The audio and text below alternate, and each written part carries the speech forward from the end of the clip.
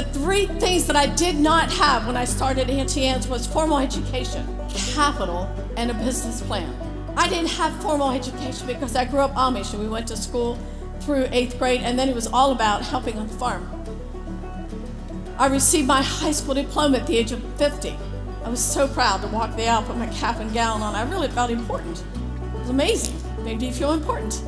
And but one week before I received my diploma, I received my first honorary doctorate degree. I know. I'm just saying, God works outside the box.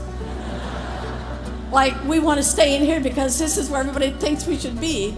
They will tell us this is what we need to do to become whatever it is we want to become.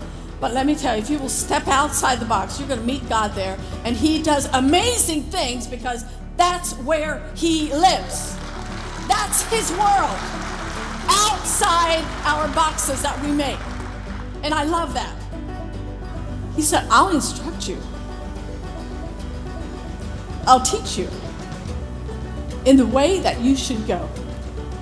And I will counsel you with my eye. I'll never forget the day I got that promise. At that point, I decided to stop whining about what I didn't have. Y'all know you can do nothing with what you don't have. I know, that's so profound.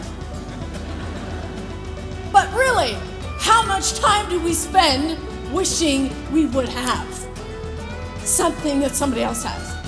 When we focus, though, on what we have, over time, we realize that what we have is far greater than what we don't have. I knew what we had a great product, a great purpose, and great people.